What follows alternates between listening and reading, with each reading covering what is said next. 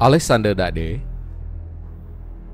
Julius Caesar Thành Cát Tử Hãn Napoleon Bonaparte hay Đại tướng Võ Nguyên Giáp.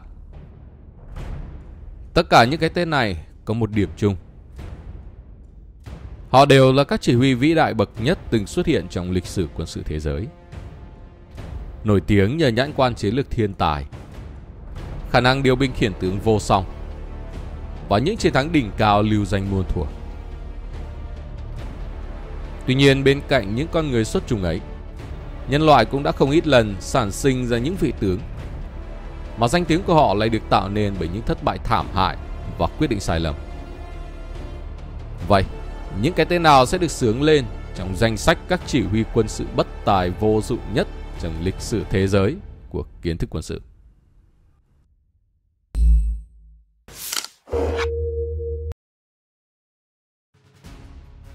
Là một trong những quốc gia vĩ đại nhất từng tồn tại trong lịch sử loài người, La Mã có truyền thống lâu đời là nơi sản sinh ra một số vị tướng tài giỏi bậc nhất và cùng với đó là những kẻ tệ hại nhất. Với Quintus Servilius Sapio là một ví dụ điển hình. Trở thành chấp chính quan năm 106 trước công nguyên, Scipio được biết đến như một chính trị gia ích kỷ và tham nhũng. Theo đó, ông ta từng thông qua một đạo luật để tước bỏ quyền tham gia của tầng lớp lao động và các thủ tục tố tụng hay trong thời gian ở xứ Gaul, Scipio đã chiếm được thị trấn Tolosa, tức thành phố Tolu thuộc nước Pháp ngày này. Ở đó, ông ta đã tìm thấy một kho báu đầy vàng và bạc, được cho là bị người Gaul đánh cắp khỏi đền Delphi trong cuộc xâm lược Ban Căng năm 279 trước công nguyên. Theo ước tính, tổng giá trị của kho báu này rơi vào khoảng 11 tỷ đô la Mỹ thời giá năm 2022. Chiến lợi phẩm của Scipio được chuyển đến Rome, nhưng trên đường đi, một nhóm cướp đã tấn công đoàn xe vận chuyển, đánh cắp toàn bộ số vàng và bỏ lại bạc. Người ta tin rằng Scipio đã tự mình thuê những tên cướp để chiếm đoạt số vàng.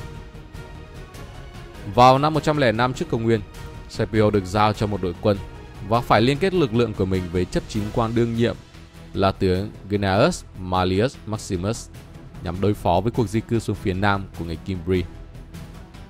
Tuy nhiên, bất chấp vị tướng Maximus có chức vụ cao hơn, Scipio đã từ chối chấp nhận sự lãnh đạo hoặc thậm chí là đóng quân chung trại với ông này do vị chỉ huy xuất thân từ tầng lớp xã hội thấp.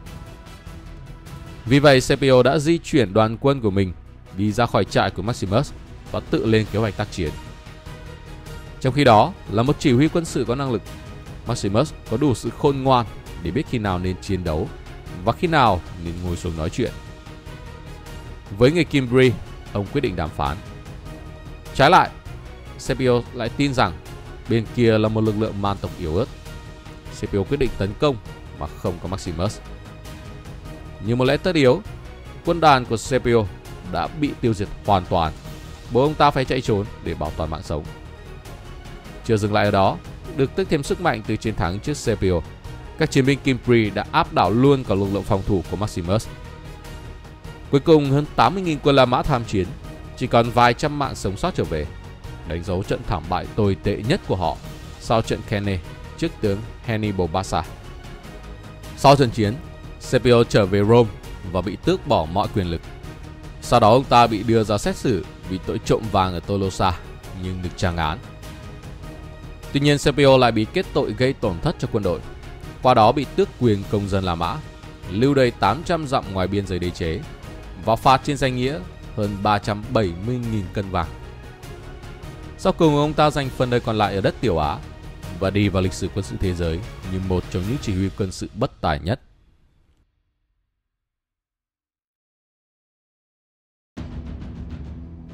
Tiếp theo, chúng ta sẽ điểm danh một vị tướng vừa yếu kém, vừa hèn nhát nhưng lại thích bốc phét. Khi nghiên cứu về cuộc nội chiến Hoa Kỳ, có một quan điểm sai lầm xuất hiện trong giới sử học cho rằng phe liên bang miền Bắc có lợi thế về nguồn lực vật chất còn Liên minh miền Nam sở hữu các chỉ huy tài ba. Thế nhưng trên thực tế thì ở mặt trận phía Tây, quân đội miền Nam đã cho xuất hiện một vị tướng được xem là bất tài bậc nhất mang tên Gideon Pillow. Sự nghiệp của ông ta với tư cách là một nhà lãnh đạo quân sự bắt đầu trong chiến tranh Mỹ-Mexico, được người bạn thân là Tổng thống James K. Polk phong hàm thiếu tướng. Và bất chấp việc Pillow là một chính trị gia và hoàn toàn chưa có kinh nghiệm quân sự gì trước đó. Ông ta vẫn được bổ nhiệm làm chỉ huy một đơn vị tình nguyện và nhận nhiệm vụ đến miền Bắc Mexico. Tại đó, Pillow mắc sai lầm đầu tiên bằng việc cho đào mương phòng thủ sai hướng. Kế đó, màn thể hiện kém cỏi của ông ta trong trận Cerro Gordo đã khiến nhiều binh sĩ thiệt mạng. Đến trận Chapultepec, Pillow gặp may mắn hơn và chấp ngay lấy cơ hội đó để tiến hành chiến dịch đề cao bản thân. Trong đó tự phong cho mình là anh hùng của Chapultepec. Đồng thời ông ta cũng khoe khoang về những chiến công chẳng phải của mình và phủ nhận công lao của tướng Winfield Scott. Từ đó gây ra mâu thuẫn với các sĩ quan chính quy. Và chính điều này đã khiến vị tướng bất tài phải trả giá bằng hai thất bại trong hai cuộc chạy đua ghế phó tổng thống, lần lượt vào năm 1852 và 1856. Trong những tháng đầu của cuộc khủng hoảng khi các bang ủng hộ chế độ nô lệ ly khai khỏi Hợp Trung Quốc Hoa Kỳ, Pillow đã vận động sự ủng hộ cho Liên minh miền Nam trên khắp tiểu bang Tennessee và tập hợp được một đội quân nhỏ tại quê nhà trước khi trở thành chuẩn tướng trong quân đội Liên minh miền Nam. Năm 1861, Gideon Pillow có cơ hội để lấy lại danh tiếng của mình trong trận Belmont, nhưng đã thất bại trước tiếng Ulysses Grant của miền Bắc. Sau một thời gian ngắn cố gắng từ chức vì cảm thấy mình bị lu mờ bởi các chỉ huy khác của Liên minh miền Nam, thì Lầu đã giao nhiệm vụ bảo vệ pháo đài Don Nelson, vốn là một cứ điểm quan trọng về mặt chiến lược trên sông Mississippi. Khi bị quân miền Bắc do tướng Grant chỉ huy bao vây và bắn phá dữ dội, quân miền Nam đã tập trung và tấn công vào cánh phải của đối phương, buộc họ phải rút lui khỏi vị trí đã chiếm trước đó. Tuy nhiên trong thời khắc ấy, thật khó hiểu khi bộ não không có chút kiến thức quân sự nào của Gideon Pillow đã nghĩ gì mà ra lệnh cho lực lượng miền Nam đang thừa thắng sông lên phải quay trở lại pháo đài. Qua đó biến những thành quả khó khăn lắm mới đạt được trở thành công cốc. Nắm bắt cơ hội đó, tướng Grant đã tổ chức một cuộc phản công táo bạo nhằm đè bẹp hàng phòng ngự của quân miền Nam. Lúc này các chỉ huy quân miền Nam trong pháo đài xác định rằng đầu hàng là lựa chọn khả thi duy nhất. Và thế là ngay trong đêm, Gideon Pillow cùng tướng John B. Floyd đã bỏ chạy khỏi đường Nelson. Qua đó trực tiếp dâng Mississippi cho quân miền Bắc và để họ tiếp cận ngay trung tâm của quân miền Nam. Đến ngày 2 tháng 1 năm 1863, trong trận Stones Rivers, sự hèn nhát của Pillow một lần nữa được thể hiện khi ông ta bị phát hiện là đã ẩn nấp sau một cái cây khi quân miền Nam bắt đầu phát động tấn công. Trở về sau chiến tranh, Pillow dành phần đời còn lại của mình để cố gắng lấy lại uy tín đã đánh mất. Tuy nhiên với những vết nhơ như vừa được kể, thì có lẽ nước Đông Hải cũng không thể rửa sạch. Cho đến nay ông ta vẫn được nhớ đến như là một chỉ huy không xứng đáng với quyền lực được trao, nhỏ mọn, bất tài và đáng chê trách nhất trong thời nội chiến.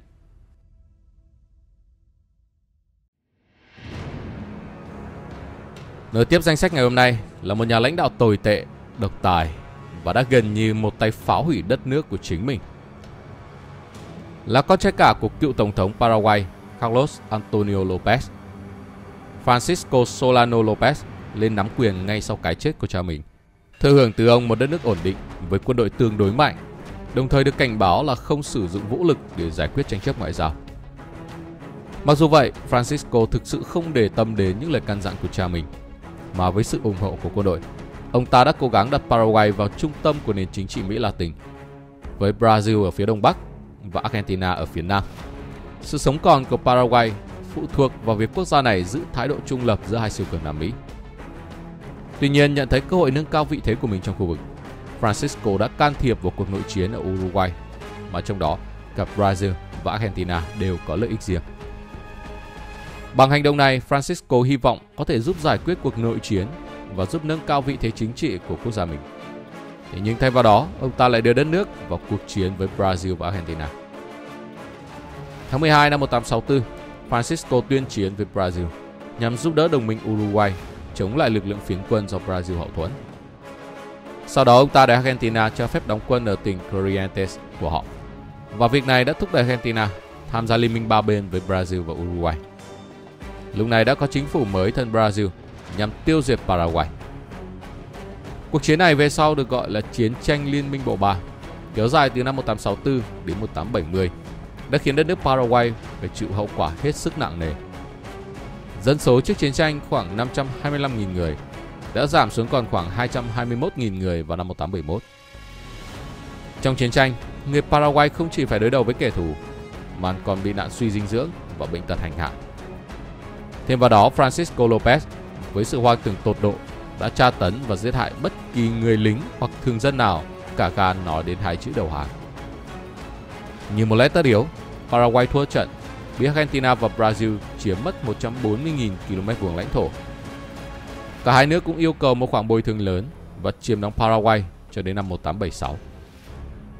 Còn về phần Francisco Solano Lopez, vào ngày 1 tháng 3 năm 1870, ông ta bị chính các phụ tá của mình phản bội và bị họ bắn chết khi cố gắng chống trả lệnh bắt giữ bằng một thanh kiếm.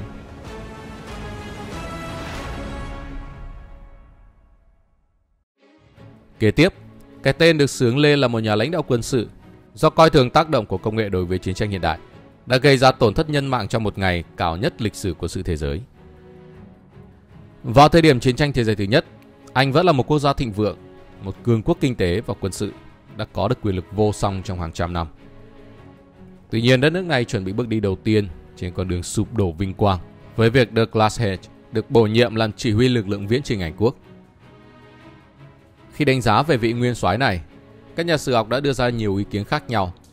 Thế nhưng hầu hết đều đồng ý rằng ông ta phải chịu trách nhiệm một phần vì những quyết định tác chiến đã dẫn đến cái chết vô nghĩa của hàng triệu binh lính Anh. Với niềm tin rằng súng máy không thể khiến phong cách chiến đấu truyền thống trở nên lỗi thời, Douglas Hedge chính là người gây ra thảm kịch tại trận Somme. Vào ngày 1 tháng 7 năm 1916, ông ta ra lệnh cho 11 sư đoàn thuộc tập đoàn quân số 4 của Anh, với nhiều người trong số họ là lính tình nguyện tham chiến lần đầu tiên, bắt đầu mở cuộc tấn công trên một mặt trận dài 24 km ở phía bắc sông Somme. Mục đích của Hedge là hòng sử dụng lượng quân số để áp đảo kẻ thù, phá vỡ trung tâm của quân Đức và đảm bảo chiến thắng. Tuy nhiên trái với kỳ vọng của ông ta, quân Đức ở phía bên kia chiến tuyến với hỏa lực súng máy đã gây ra thương vong cho 57.000 binh lính Anh, với hơn 19.000 người đã phải bỏ mình. Bất chấp thiệt hại nặng nề, Hedge vẫn cho là do quy mô của cuộc tấn công và mặt trận rộng lớn, nên tổn thất như vậy hoàn toàn dễ hiểu và có thể chấp nhận được. Bên cạnh đó, quả quyết rằng cuộc tấn công đã khiến đối phương suy yếu đáng kể. Ông ta lại ra lệnh cho binh sĩ của mình quay trở lại chiến đấu. Cứ thế lập đi lập lại trong 4 tháng liên tục, cho đến khi dường như ông trời cũng phải động lòng thương xót trước sự mất mát to lớn về sinh mạng của người Anh. Và điều kiện mùa đông khiến các cuộc tấn công tiếp theo không thể được thực hiện. Không chỉ cứng đầu và bảo thủ, The Hedge còn được xem là một người mơ mộng và ảo tưởng. Bất chấp thương vong khủng khiếp do súng máy Đức gây ra cho lực lượng của mình, Hedge tin rằng loại vũ khí này đã được đánh giá cao quá mức và không phải là yếu tố chịu trách nhiệm về những tổn thất to lớn của quân Anh. Thậm chí sự coi thường mà vị nguyên soái dành cho súng máy nhiều đến mức mỗi khi phát động một cuộc tấn công mới vào quân Đức, ông ta đều điều động kỵ binh dự bị với hy vọng lực lượng này sẽ khai thác lỗ hổng do bộ binh tạo ra trên phòng tuyến của kẻ thù. Không chỉ có vậy, sự lạc lõng về chiến tranh hiện đại của Douglas Hedge còn thể hiện ở chỗ ông ta khăng khăng yêu cầu người của mình tiến về phía trước với tốc độ vừa phải để đội hình của họ có thể được duy trì tốt hơn cũng như duy trì trật tự và kỷ luật. Trên thực tế, tất cả những điều này đã làm cho binh lính Anh trở thành các tầm biệt tập bắn dễ dàng hơn rất nhiều cho xạ thủ Đức. Thế nhưng dù có đến gần nửa triệu thương vong, Edge vẫn không chịu thay đổi chiến thuật. Năm 1917, khi người Pháp quyết định phòng thủ cho đến khi lực lượng Hoa Kỳ có thể đến hỗ trợ với số lượng lớn. the Clash Hedge thay vì chờ đồng minh thì đã quyết tâm cố gắng đánh bại của Đức trong trận Ypres lần thứ ba hay chiến dịch Passchendaele và hậu quả của nó thì không khác lắm so với trận Somme khi có đến hơn 300.000 lính Anh chết hoặc bị thương. Có đó khiến cho quân đội của họ suy yếu đáng kể. Đến mức nếu không có sự can thiệp của Hoa Kỳ, toàn bộ mặt trận phía Tây sẽ sụp đổ trong vòng một năm và người Đức sẽ chiến thắng. Sau cùng, Douglas Hedge vẫn sẽ tiếp tục nắm quyền chỉ huy lực lượng viễn chinh Anh. Nhưng sau chiến tranh và mãi đến sau này, ông ta sẽ bị chỉ trích vì không hiểu được chiến đấu hiện đại và những đổi mới công nghệ đã thay đổi nó mãi mãi. Ngày nay hầu hết các nhà sử học đều đồng ý rằng ông vẫn là một trong những nhà lãnh đạo quân sự tồi tệ nhất trong lịch sử nhân loại.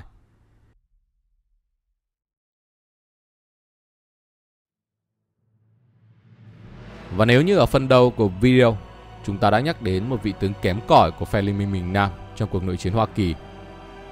Vậy thì tiếp theo đây, CD Media Quân sự sẽ giới thiệu tới quý vị và các bạn một chỉ huy thuộc Liên minh miền Bắc, mà màn thể hiện của ông ta cho thấy sự kém cỏi không thua gì đồng nghiệp phía bên kia chiến tuyến. Đó là George B. McClellan. Tốt nghiệp với thứ hạng cao tại Học viện Quân sự Hoa Kỳ West Point năm 1846. McClellan đã phục vụ trong chiến tranh Mỹ, Mexico và dạy kỹ thuật công binh tại chính ngôi trường mình từng học. Sau đó ông ta được giao nhiệm vụ thực hiện một loạt cuộc khảo sát về các cơ sở đường sắt và quân sự. Kết thúc bằng nhiệm vụ trở thành quan sát viên cho chiến tranh Crimea để bảo vệ các phương pháp chiến tranh của châu Âu. Khi cuộc nội chiến bùng nổ, McClellan, mặc dù là một đảng viên đảng Dân Chủ, nhưng vẫn là một người trung thành với chính quyền liên bang. Vào tháng 4 năm 1861, ông ta được đưa vào biên chế của đội chính quy và nhận trách nhiệm chỉ huy bộ Ohio với nhiệm vụ bảo vệ phía Tây Virginia. Đến ngày 17 tháng 3, lực lượng Liên minh miền Nam ở đó đã bị đánh bại và McClellan đã tạo dựng được danh tiếng là tiểu Napoleon của miền Tây. Sau thất bại thảm hại của miền Bắc trong trận Bull Run thứ nhất, McClellan được giao quyền chỉ huy lực lượng, sau này trở thành quân đoàn Potomac. Cùng với đó là nhiệm vụ bảo vệ thủ đô và tiêu diệt lực lượng địch ở phía Bắc và Đông Virginia. Vào tháng 11 năm 1861, McClellan kế nhiệm tướng Winfield Scott làm tổng tư lệnh quân đội. Với khả năng tổ chức và hiểu biết sâu rộng về hậu cần của mình, ông ta đã thiết lập lại trật tự thay cho tình trạng hỗn loạn sau thất bại. Và thực tế là đã thành công rực rỡ trong việc đưa quân đội miền Bắc trở thành một lực lượng có tinh thần chiến đấu cao, đội ngũ quân sự chỉ huy và các dịch vụ hỗ trợ hiệu quả. Tuy nhiên hết lần này đến lần khác trong suốt cuộc chiến, McClellan luôn từ chối nắm lấy thế chủ động và tận dụng các lợi thế để tấn công. Lý do là vì ông ta luôn tin rằng kẻ thù mình có trong tay quân số đông hơn mình rất nhiều. Cảm giác hoang tưởng cực độ ngày càng tăng này sẽ cướp đi của liên bang miền Bắc những chiến thắng quan trọng, mà lẽ ra có thể kết thúc chiến tranh sớm hơn rất nhiều so với thực tế lịch sử. Một ví dụ điển hình là trong chiến dịch bán đảo năm 1862, McClellan chưa bao giờ thực sự bị đánh bại và thậm chí đã giành được một số chiến thắng. Thế nhưng ông ta quá thận trọng và có vẻ miễn cưỡng truy đuổi kẻ thù. Khi còn cách thủ đô Richmond của miền Nam chỉ có vài dặm, McClellan lại một lần nữa đánh giá quá cao số lượng quân địch mà mình phải chống lại. Để rồi khi lực lượng Liên minh miền Nam dưới sự chỉ huy của tướng Robert E. Lee bắt đầu nỗ lực tấn công tổng lực nhằm tiêu diệt đối phương trong trận chiến 7 ngày. McClellan đã cho quân rút lui. Qua đó đã biến đây trở thành một trong những trận thua thảm nhất của quân đội miền Bắc trong thời nội chiến. Trở về Washington khi nhận được tin tức về sự thất bại của liên bang trong trận Bull Run lần thứ hai, McClellan được yêu cầu nắm quyền chỉ huy quân đội để bảo vệ thủ đô và đã thành công trong việc khôi phục tinh thần cho binh sĩ miền Bắc vốn đang suy sụp nghiêm trọng. Nhờ vậy giành chiến thắng trong trận Antietam và ngăn chặn được cuộc tấn công vào phía Bắc Maryland của quân miền Nam. Tuy nhiên ông ta đã tỏ ra thiếu quyết đoán và không cho truy quét tàn quân đối phương. Như gió nước tràn ly, điều này đã khiến Tổng thống Lincoln tức giận và cách chức McClellan. Về sau, các chuyên gia quân sự nhận xét rằng học thuyết của vị tướng này là cực kỳ hợp lý đối với một cuộc chiến mà trong đó phải chống lại kẻ thù vượt trội về số lượng. Mặc dù vậy, vì đây không phải là thực tế mà cuộc nội chiến diễn ra, thì tất cả những sự rụt rè và nhách cái của McClellan đã khiến thời gian xung đột kéo dài hơn mức cần thiết. Đồng thời điền tên ông ta vào danh sách những nhà chỉ huy quân sự tồi tệ nhất trong lịch sử.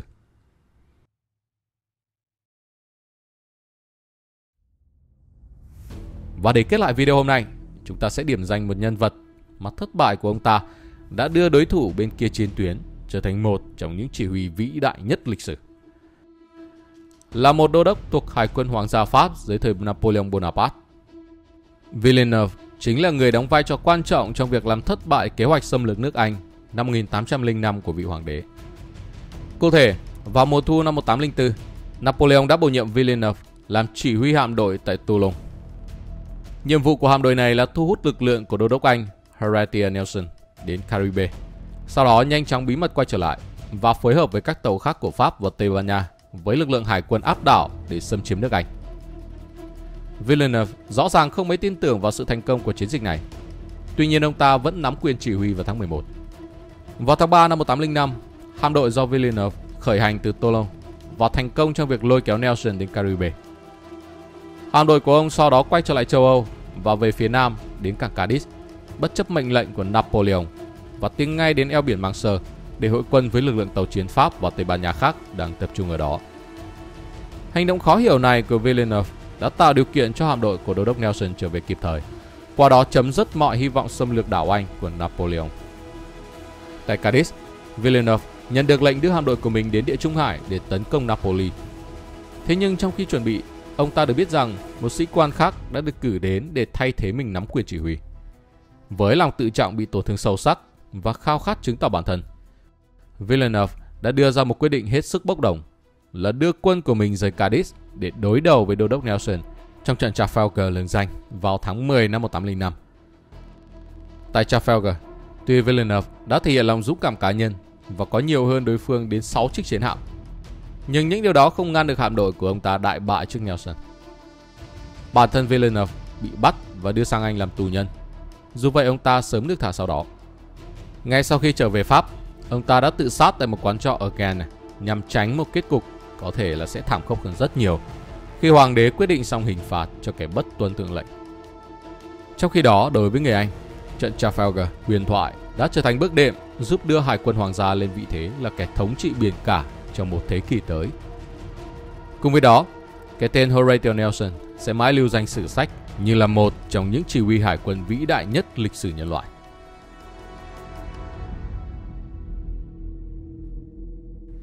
Tóm lại, những cái tên xuất hiện trong danh sách ngày hôm nay đều đóng vai trò như lời nhắc nhở về hậu quả gây ra bởi sự lãnh đạo quân sự yếu kém. Những thất bại của các vị tướng này, dù là do sự rụt rè, ngoan cố hay tính toán sai lầm về mặt chiến lược, đều có tác động sâu sắc đến kết quả của cuộc xung đột mà họ tham gia và tính mạng của vô số binh lính dưới quyền.